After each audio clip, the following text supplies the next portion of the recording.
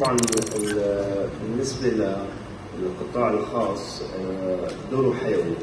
بداية لأنه لديه المعرفة التراكمية بالنشاطات الاقتصادية التي يمكن أن يكون لها ريع وعائد إيجابي سواء على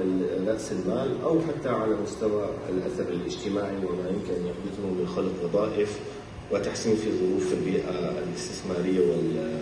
آه، والتجارية. المنطقة شمال سوريا دخلت تقريبا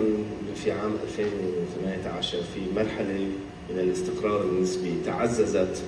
آه، أيضا مع الاتفاق آه، الروسي آه، التركي في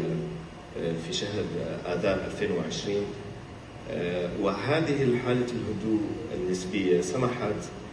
بأصحاب الأموال وأيضا التجار و- آه، والصناعيين في المنطقة أن يعودوا بممارسة آه، أعمالهم ال- التجارية من ناحية وأيضا الإنتاجية آه، اليوم المنطقة آه، شهدت آه، عودة آه، عدد من الصناعيين وأيضا من الخارج لها. آه، فيها عدة مناطق صناعية في مدينة عزاز وفي الباب وفي الراعي. وهناك أيضا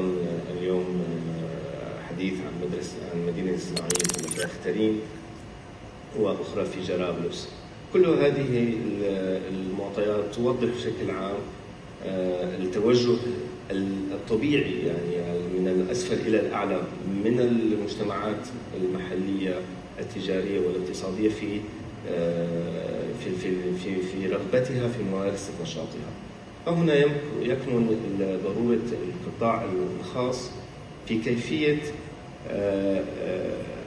الإدارة هذه النشاطات للوصول إلى كتلة حرجة في المقابل الجهات الحكومية آه، لديها مسؤولية اليوم في وضع الجهاز الرقابي في وضع القوانين والتشريعات التي تسهل عمل هذه النشاطات التجارية والتي تحميها أيضا. وهنا نشهد أن الحكومة المؤقتة بالإضافة إلى المجالس المحلية أيضا أخذت خطوات مهمة جدا آه، على سبيل المثال يعني المدن الصناعية هي عبارة عن مبادرات آه، المجالس المحلية هي شريكة شريكة فيها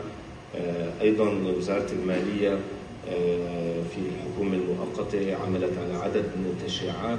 بالإضافة أيضا آه، إلى آه، إدارة المشاريع آه، في البنية التحتية في الحصول على مواد أولية مثلا مثل القمح